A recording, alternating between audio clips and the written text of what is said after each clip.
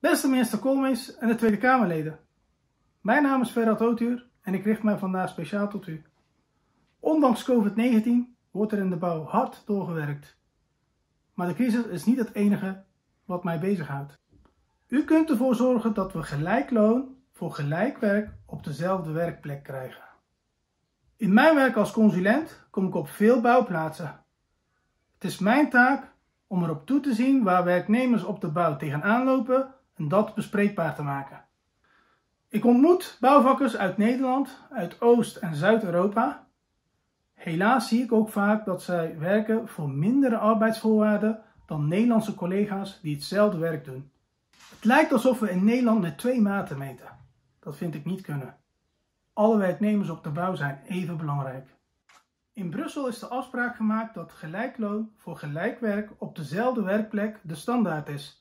U bent nu aan zet om dit in Nederlandse wet om te zetten. De bouw is een mooie sector. Laten we de sector ook mooi houden. Straks hebben we alle collega's weer hard nodig, maar dan wel graag tegen dezelfde arbeidsvoorwaarden. Dat is goed voor de sector en voor de medewerkers.